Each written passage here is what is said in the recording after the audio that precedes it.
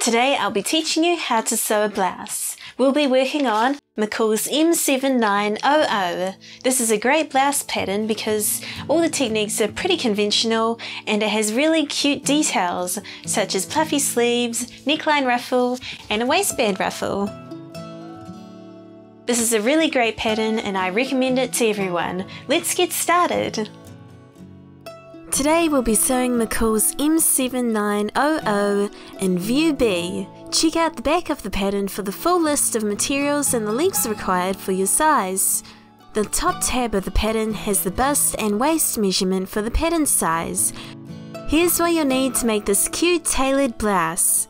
You'll need at least 1.1 meters of soft blouse fabric like cotton, eyelet, poplin, or denim. I'm using a soft linen. You'll need some fusible interfacing. If your interfacing is wide like mine, then you'll probably only need about half a meter. This blouse uses a few pieces of haberdashery. You'll need 1.2 meters of single fold bias binding, which is 1.3 centimeters wide, and 70 centimeters of elastic, which is 1 centimeter wide. You'll need 4 buttons, which are 2 centimeter diameter, and of course, you'll need a matching good quality thread. You'll need all the usual sewing supplies like a sewing machine, scissors, tailor's chalk, and an iron and an ironing board. For blouses, we use our bust measurement to choose the size of the pattern. I'll be using size 12 since my bust size is similar. This pattern comes with 4 different cup sizes as well. Use piece 1 for A and B cup, piece 2 for C cup, and piece 3 for D cup. To find your cup size, you'll need to measure your bust and upper bust measurement. Your bust should be your widest point on your chest. Then move the tape measure to under your armpits to make the upper bust measurement. Refer to the instructions for what cup size you are. The difference between my bust and upper bust is just over an inch, so theoretically I would use piece 1. I ended up using piece 2 or the C cup because it fit me better when I made a toile. To make view B, you'll need to cut out pattern pieces 1, 2 or 3 and pieces 5 to 9 and 11.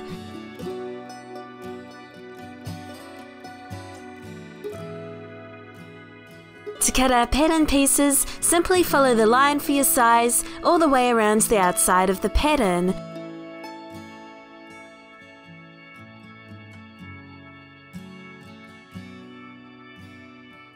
The front piece has dart seams. This means that we cut into the dart and it will have a seam allowance. Carefully follow the line for your size as it can be easy to mix up the cutting line and the dart.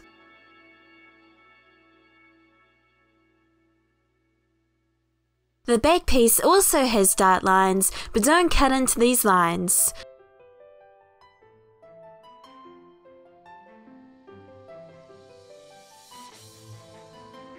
We'll be making view B for this pattern, which is the shorter version. When we cut the fabric, we need to cut along the higher hem for view B. You can do this by simply folding the pattern piece up to the hemline for both the front and back bodice pieces and the facings.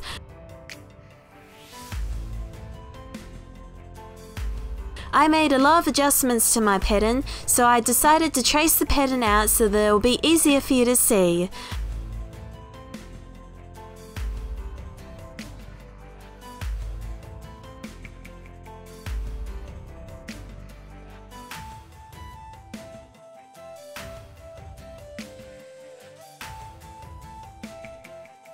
Please note that I added darts at the top of the bodice back piece to help with the fit. This is not in the original pattern.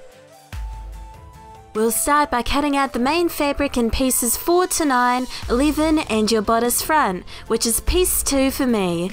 The instruction sheet has the cutting layouts. Follow the layout for your size and the width of your fabric. My fabric is about 115 centimeters wide, so I'll be following the first layout. Fold your fabric in half widthwise.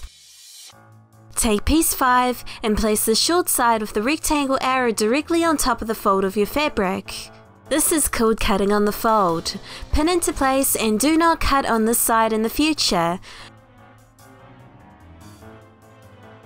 Place piece 6 next. All pieces with a grain line arrow must be placed parallel to the selvage, or in this case, the fold of the fabric. Use your measuring tape to make sure that the distance between the grain line arrow and the fold are the same down the length of the grain line arrow. Pin the rest of piece 6 into place. Place piece 7 on top of the fold and pin.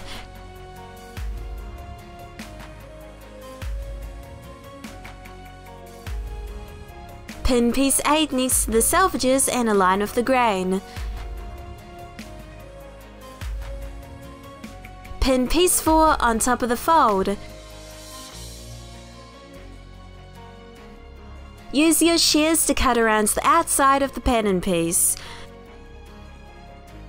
The triangle markings on the edge of the pattern are called notches and they are very important for matching the seams. Make these markings on your fabric by making a small triangle outwards from the edge of the pattern. Cut out all the pattern pieces that you've pinned so far.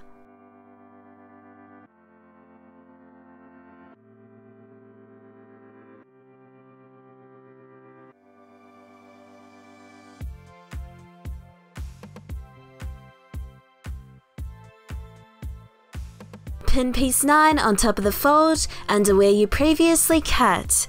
Place your bodice piece next to the opposite selvage and pin.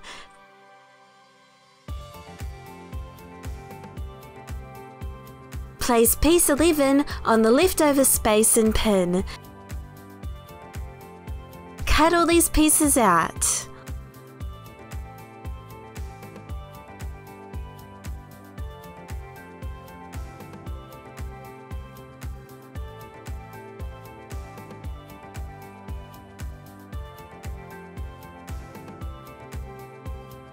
You'll need to interface pieces 8 and 9. Fold your interfacing widthwise so both of these pieces will fit on the fabric. Make sure that the distance from the selvage to the fold is the same down the length that you need. Place piece 9 on the fold and pin. Place piece 8 next to it and align it with the grain.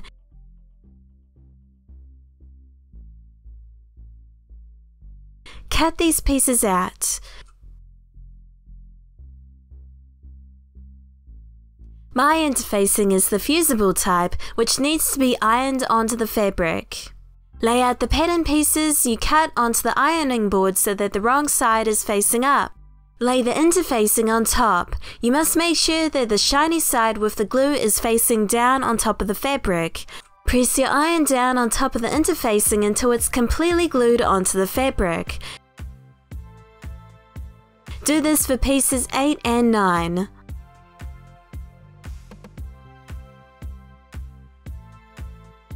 Before I start sewing, I like to make all the dot markings to help bring the blouse together. The dot markings on the armholes for the bodice front and back pieces need to be marked onto the wrong side of the fabric with tailor's chalk. These will be used later for aligning the sleeves to the armhole. Pin next to the circle marking that you want to copy and fold the pattern on top of the circle marking.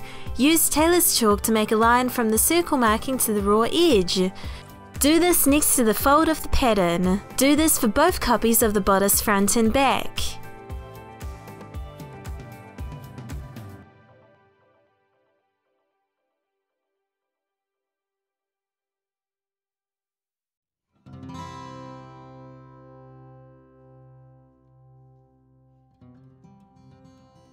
A few of the markings need to be made onto the right side of the fabric. On the bodice front piece, there is a dot at the centre front corner and at the square neckline. Use the same method to mark these with tailor's chalk.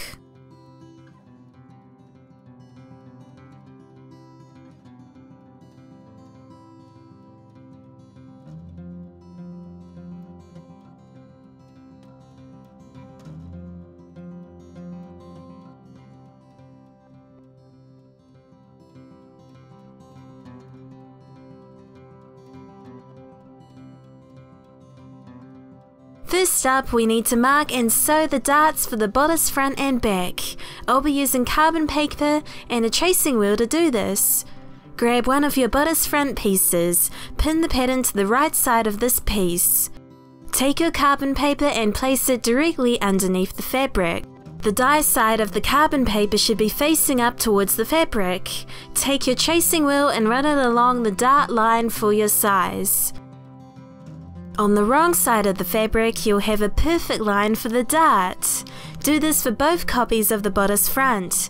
Make sure that you turn the pattern over for the second copy. We'll now bring the lines for the dart together, which is easy for this dart since the raw edges should come together too. I like to push the needle into one line and out of the other horizontally to bring the dart together. Fold the fabric in half using the needles. Make sure that both of the dart lines stack up on top of a pin, then pin the entire dart.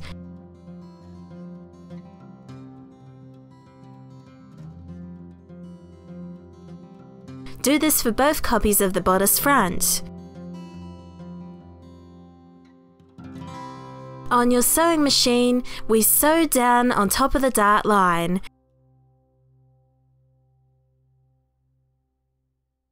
As you reach the end of the dart, adjust your sewing path so you can make a few stitches directly on top of the fold at the tip of the dart. Don't backstitch. Pull the fabric out of the machine and cut the thread so that it leaves a long tail. Sew the dart for the other copy of the bodice front as well. Knot the end of the dart by hand a few times.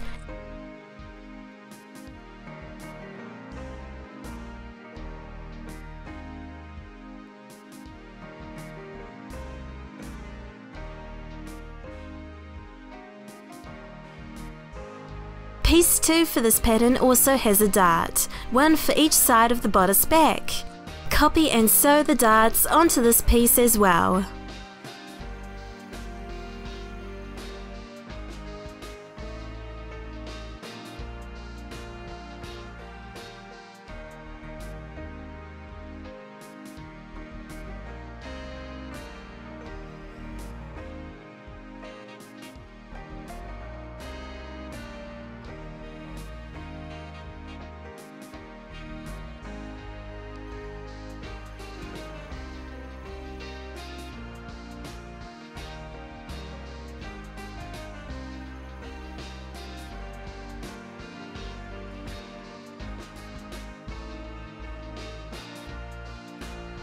Lay the bodice back on top of the table with the right side facing up. Place a copy of the bodice front on top with the right sides facing together.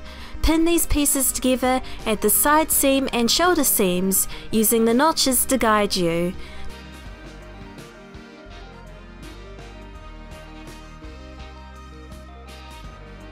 Pin both copies of the bodice front to the bodice back.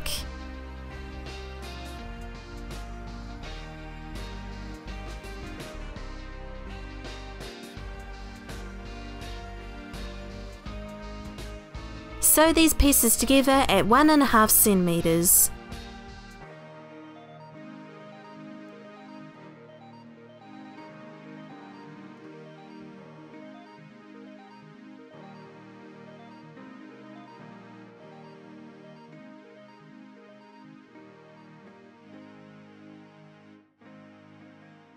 This blouse isn't lined, so we need to neaten the edges so that they won't fray in the future and so that they'll look nice on the inside. I'm going to do a top stitched finished edge. To do this, you need to fold the raw edge in half so that it's hidden on the inside. Pin in the fold. Do this for all of the raw edges on the bodice. Sew directly on top of the fold,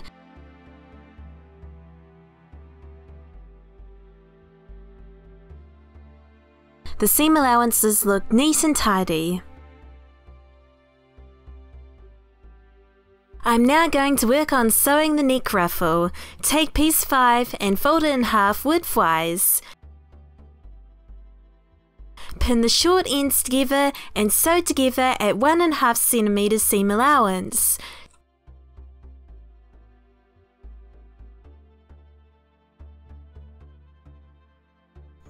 Sew again at about 1.4 centimeters on the corner with the fold.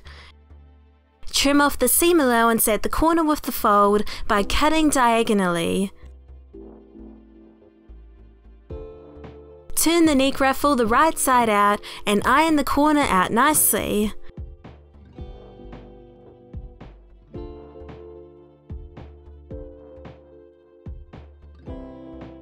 Pin the raw edges of the neck ruffle together.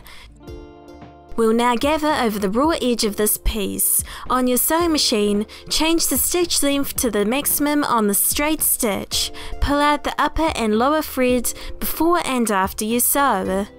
Make sure that the ruffle lies flat, sew at about 1.3 centimeters from the raw edge. With your fabric, sew the gathering stitch at 1 cm and 2 cm from the raw edge.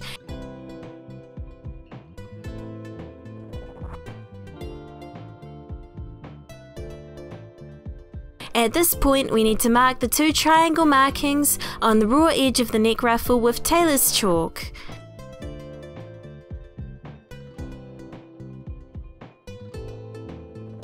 To gather the ruffle, you need to take one thread from both rows of the gathering stitches on the same side of the fabric. Gently pull these threads as you push the fabric slightly with your fingers. Lightly gather the length of the ruffle. Take your ruffle to the bodice that you've sewn so far. The raw edge of the ruffle needs to be placed on top of the raw edge of the neckline. The chalk markings that you made on top of the ruffle show where it needs to be placed directly on top of the shoulder seams of the neckline. Adjust the gathers so that you can align the chalk markings and also so that the ruffle is flush with the neckline. Pin into place.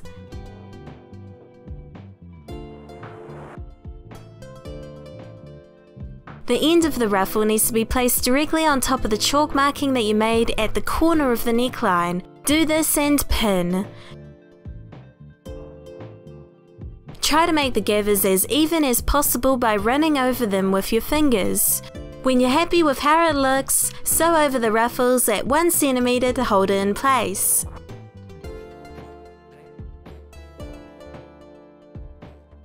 Moving along to the bottom ruffle, this is made from pieces 6 and 7. Place both copies of piece 6 on top of piece 7 with the right sides together. Match the triangle markings. Sew these pieces together at 1.5 centimeters and iron the seam split flat. Once again, fold the seam allowance in half and top stitch directly on top of the fold to make a neat finish. We need to make a narrow hem on the sides and bottom of this ruffle. Take your ruffle to the ironing board. Fold the sides and the bottom raw edge by 1.5 centimeters on the wrong side. Use your iron to make a permanent fold.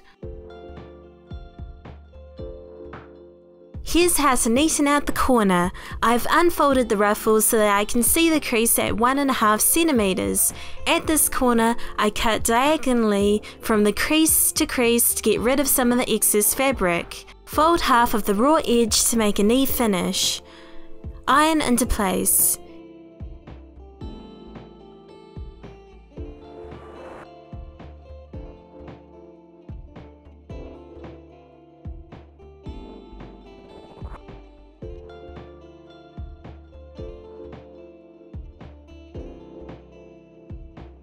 Fold up the hem at the sides and bottom and pin.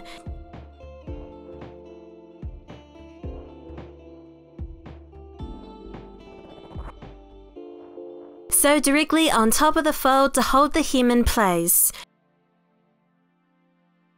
At the corners, push the needle into the fabric and lift the foot so that you can turn the fabric. Put the foot down and keep sewing.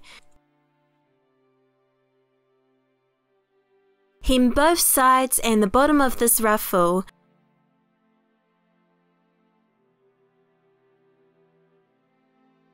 On the top of the ruffle, we'll be sewing gathering stitches at 1cm and 2cm, just like with the neck ruffle. Don't forget to use the long stitch length and pull threads out of the machine before and after you sew.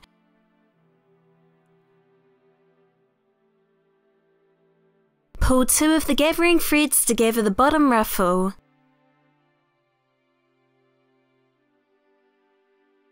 This ruffle needs to be sewn to the bottom of the bodice. Place it on top of the bottom edge of the bodice so that the raw edges are together. The seams on the ruffle must match the side seam of the bodice. Here's how to match the seams. Line up the two side seams to be aligned and place them right sides together. Use your tailor's chalk to make a marking at 1.5 centimeters from the raw edge on the seam. Fold along one of the layers at this marking. Move around the top layer so that the seams are aligned. Pin the two layers together. Do this for both of the side seams of the bodice. Sew over the seam and 1.5 centimeters without back stitching.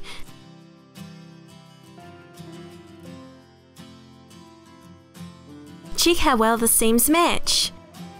The bottom corner of the ruffle needs to be placed on the dot marking on the corner of the bodice that you made earlier.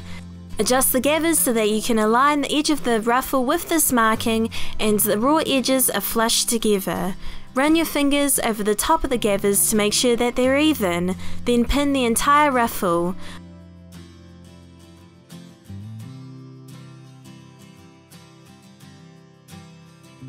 On your sewing machine, sew the ruffle into place at 1.5 centimeters.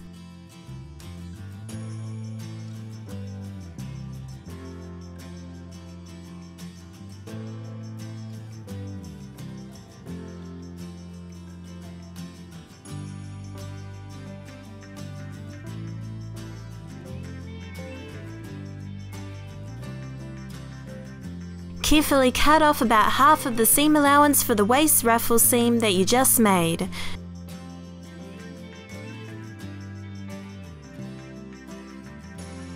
To neaten this raw edge, I'm going to use bias binding. My bias binding is about 1 cm wide and is pre-folded, which is convenient for binding seams. We need to wedge this raw edge into the fold of the bias binding. Pin the bias binding into place, but leave the raw edges open at about 1.5 centimeters from the corner.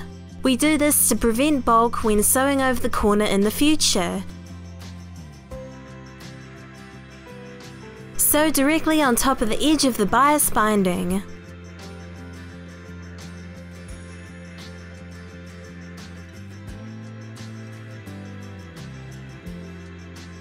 We're now going to sew and attach the facing to the front opening of the blouse. Before we sew, we need to make a few markings on the facing. Use your tailor's chalk to make the circle marking in the bottom corner and neckline corner on piece 8. Do this on the wrong side of both copies of piece 8.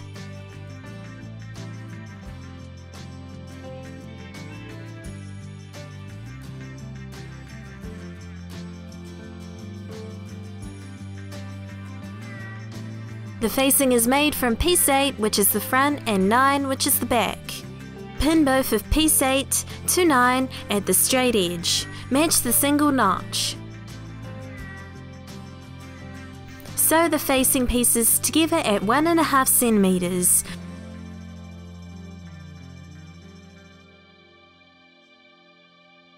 Iron the seams split flat. These seams won't be seen, so I'm just going to finish them by zigzag stitching on top of the raw edge.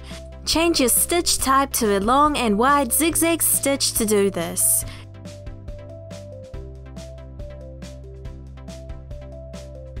We also need to zigzag stitch on top of the inner edge of the facing. This will be the edge that has all the curves.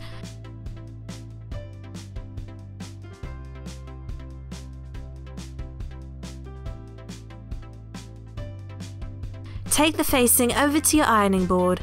Fold up the raw edge of the facing by about 5mm on the wrong side.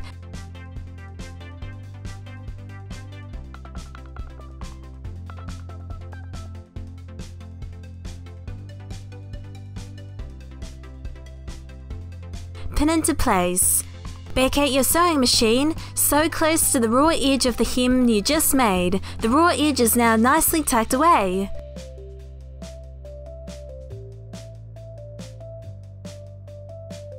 Before I sew the facings onto the blouse, I want to make the markings for the buttons and buttonholes. I'm using a removable fabric marker to do this. This marker is very accurate but you must not iron over the top of it or the markings will become permanent. So I need to sew the buttons and buttonholes quickly. I'm going to mark the buttonholes first on the left hand side of the blouse opening, which are marked by these bars. Pin the bodice front pattern piece to the fabric using the raw edge as a guide. Pin next to each of the buttonhole markings. Then remove the excess pins so you can fold the pattern piece over on top of the first buttonhole marking. Use your fabric pen to make the vertical line close to the raw edge and then the longer horizontal marking. You won't need to make the other vertical line because I'll be doing a one-step buttonhole on my machine. Repeat for all four buttonholes for this view. When we sew the buttonhole, the intersection of the two lines will represent the start of the buttonhole. Moving on to marking the buttons, pin the pattern to the right side of the blouse and pin next to each of the buttonhole markings. The button needs to be sewn on the intersection between the horizontal line for the buttonhole and the center front line. Fold along the first button marking. Make a cross marking on your fabric to represent where the button needs to be sewn on the center front. Do this for all four of the buttons. I will now sew the facing onto the bodice opening. The facing needs to be sewn on the bottom and inside edge of the opening. Firstly, I'm going to pin away the bottom ruffle on both sides of the opening so that it won't be caught in the facing seam.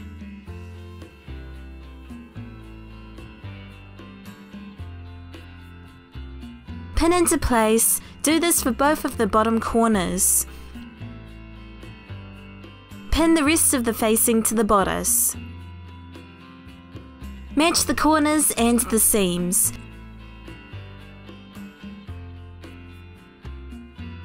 Make sure that the neck ruffle is lying flat because it will be sewn into place with this seam. To help place the facing on the bottom corner of the bodice, match the circle marking at both of the bottom corners.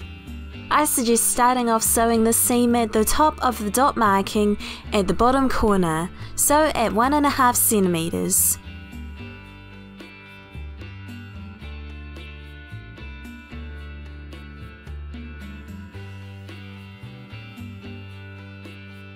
Sew another seam at about 1.3 millimeters to reinforce each of the corners.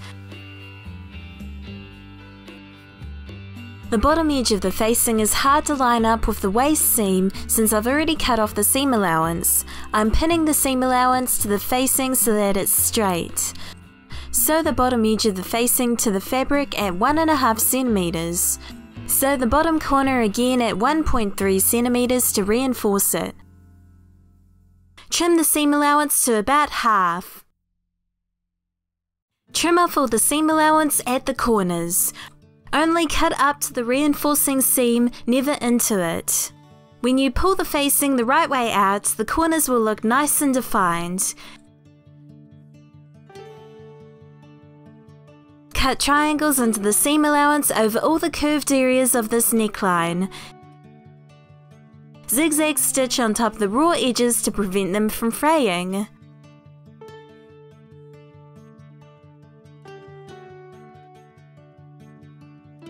Pull the facing the right side out.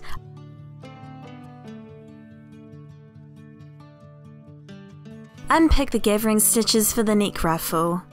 The facing seam needs to be understitched to help it stay on the inside of the blouse. This is where we sew the seam allowance onto the facing side. Open up your facing seam and push the seam allowance towards the facing side. Pin into place.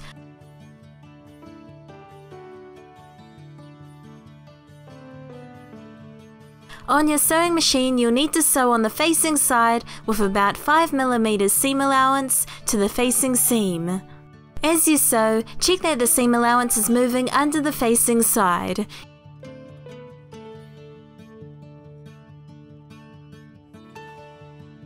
You won't be able to understitch the corners of the facing, but that's okay. Just sew as close as possible to the corners without catching any other fabric in the seam.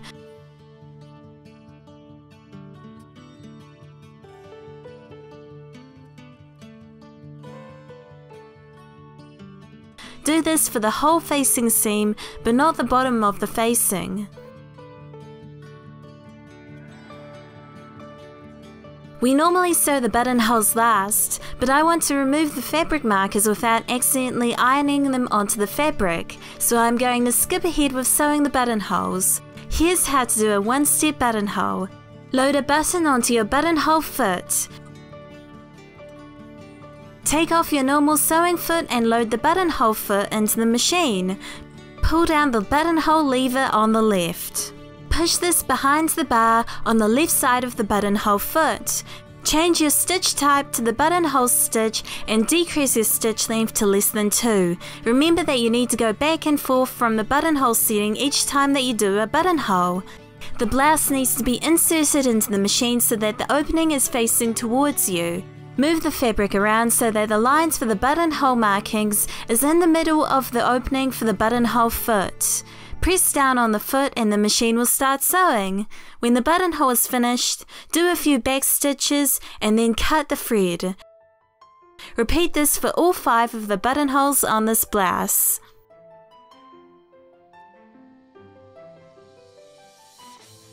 Place a pin at one end of the buttonhole. Use your quick unpick to rip from the other end of the buttonhole up to the pin. The pin prevents you from ripping too far.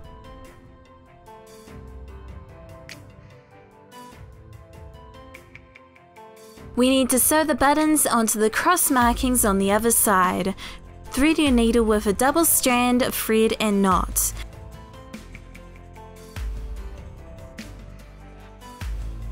Push the needle through the wrong side of the fabric and up to just beside the cross marking for the buttonhole.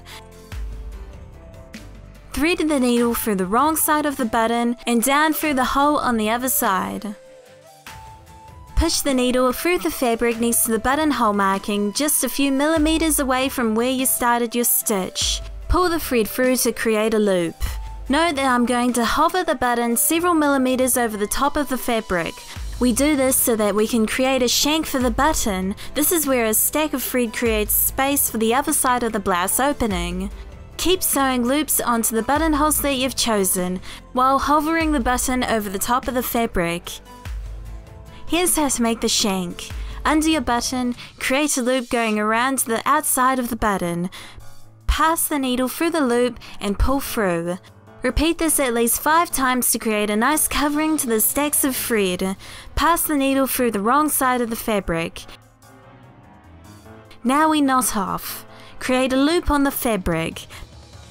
Pass the needle through the loop, pull the thread to pull the knot down onto the fabric. Repeat this a few times then cut off the thread. Repeat this for all five of the buttons. Press the seam allowance of the lower ruffle towards the bodice side and pin into place. On your sewing machine, sew just a few millimeters away from the waist seam on the bodice side. This will keep the seam allowance facing up. Now we'll sew the cute puff sleeves. There's a few markings that you'll need to make on the wrong side of these sleeves. Mark the three circle markings at the cap of the sleeve with tailor's chalk. Pin next to each of the markings, then fold the pattern over next to the dot.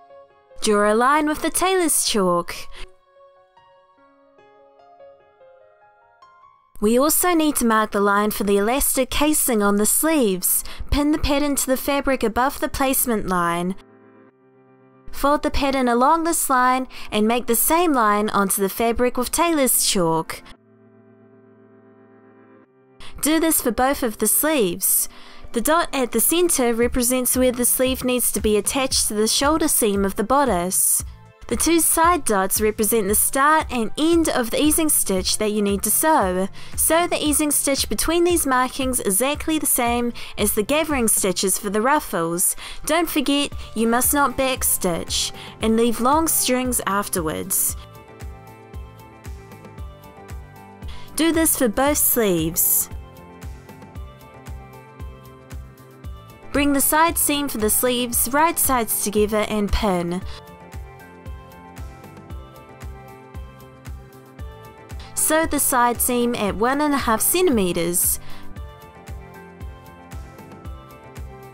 finish the raw edges.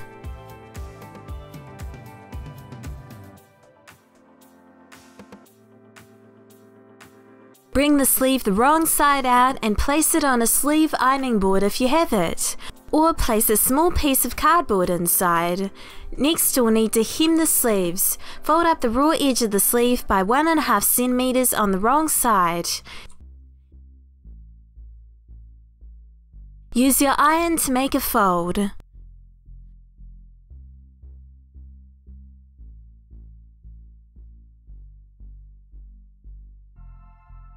Fold under about half of the raw edge to make a nice hem and iron.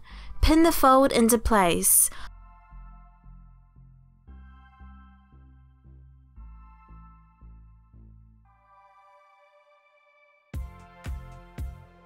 On your sewing machine, sew on top of the fold that you just made.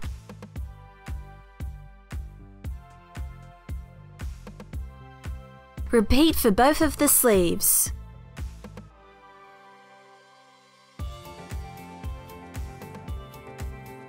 The casing for the sleeves is made from unfolded bias binding.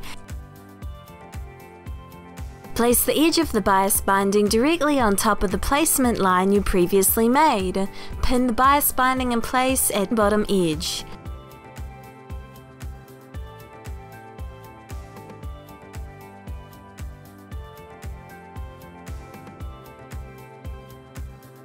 Cut the bias binding so that you have an extra few centimeters to encircle the sleeve. The opening of the casing is where we will insert the elastic. At this seam, we're going to fold the raw edges of the bias binding onto itself so it will be hidden away. Take your attachment off your sewing machine and slide in the sleeve up to the bias binding. Sew directly on top of the top and bottom edge of the bias binding. You need to sew as close to the edge as possible, there's not much space for the elastic.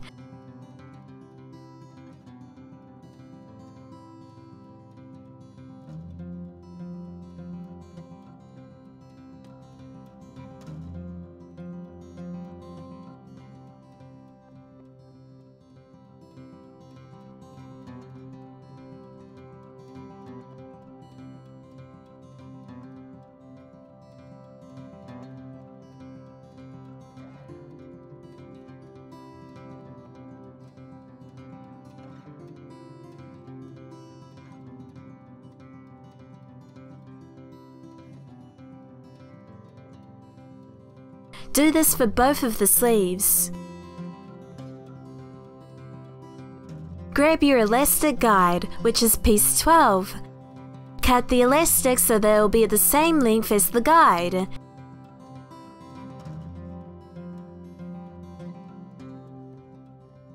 You'll need a safety pin for the next part.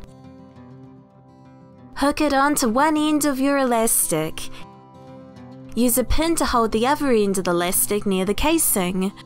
Push the safety pin into the elastic casing opening. Push it all the way around the sleeve and out through the opening again.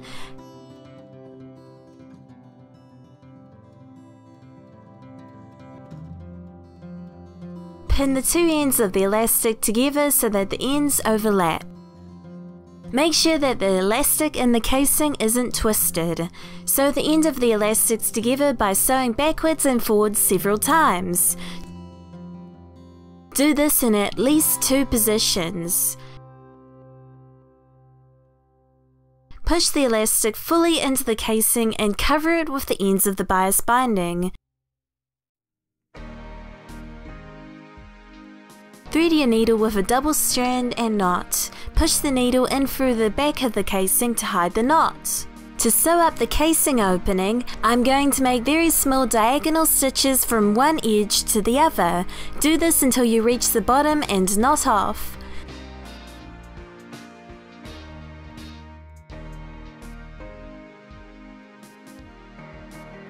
The elastic casing is all done. The sleeve looks cute and frilly.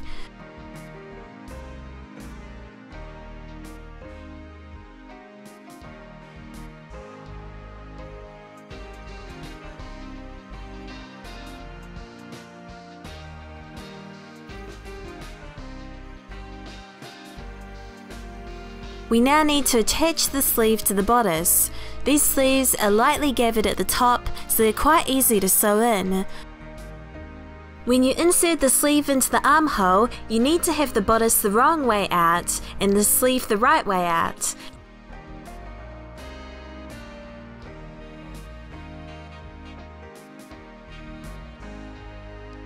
Match the big and small notch markings on the sleeve and the armhole.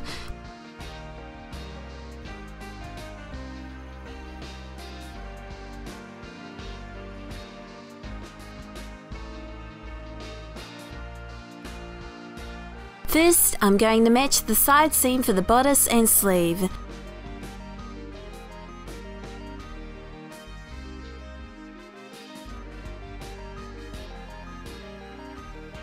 Sew over these seams at 1.5 centimeters to check that they match. If it looks good, then you can go ahead and start pinning the sleeve to the armhole. Match the two circle markings on the side of the armhole with the sleeve. Pin the bottom half of the sleeve to the armhole.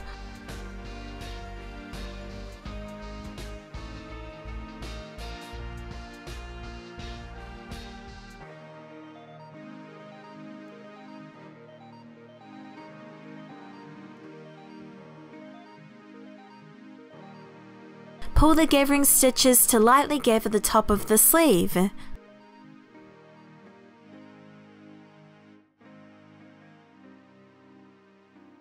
Push around the gathers with your fingers until they're even and the width is about the same as the armhole. I'm concentrating the gathers at the tip of the shoulders for a more dramatic effect.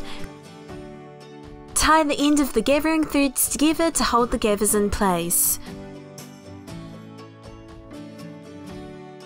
Place the marking at the top of the sleeve directly on top of the shoulder seam for the bodice. Pin into place.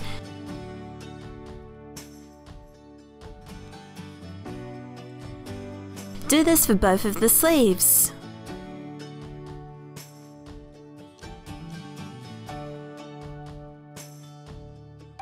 Slide the armhole into the machine, sew the seam at 1.5 centimeters.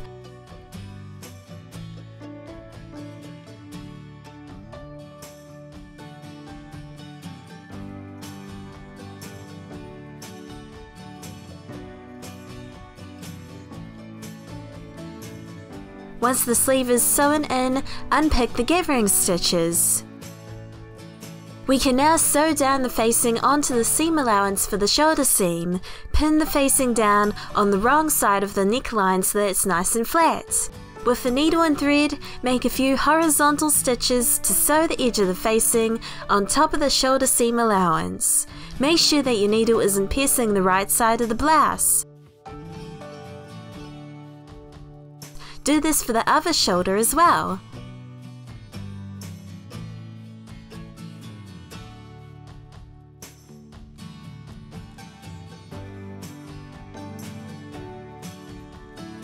This seam is quite exposed on the inside of the blouse, so once again I'm going to cover it with bias binding.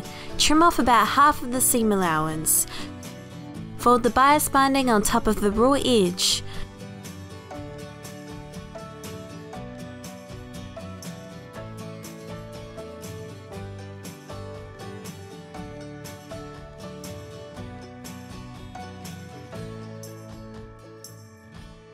Top stitch on top of the edge of the bias binding.